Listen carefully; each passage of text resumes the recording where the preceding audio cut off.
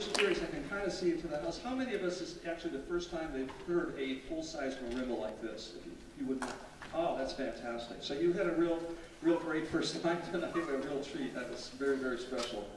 Uh, while the group is setting up, uh, we've got another treat for you, the percussion section feature here, uh, right after our concerto. Uh, just a word about uh, how this concerto and this following piece happened uh, to come up. John's father, Kurt Venner, was a longtime member of the uh, area music scene, a freelance player, a, a doctor. He worked at the National Institute of Health and, uh, and played the clarinet in Rockville Band for many, many years, where I first met him uh, quite a while ago.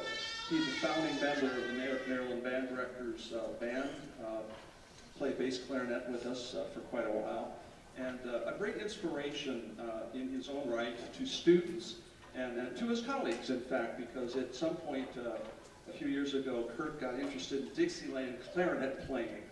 And uh, the next thing I knew, he was coming back from New Orleans, having studied with uh, some guys down there who gave him some arrangements, and he took some clarinet lessons, and, and uh, he spent uh, a long, arduous days at NIH in in his day job, as they say, but he loved playing the clarinet, and he brought this great joy of, uh, of music to, to us all, and it was a real pleasure to have uh, with us. And his, uh, his instruments, indeed, and his uh, inspiration continues to motivate us and our students uh, as we move forward uh, with his memory in mind. So we're glad that, uh, that John is here and his family, and, and we continue to pay tribute to Kurt and his memory. So thank you for that.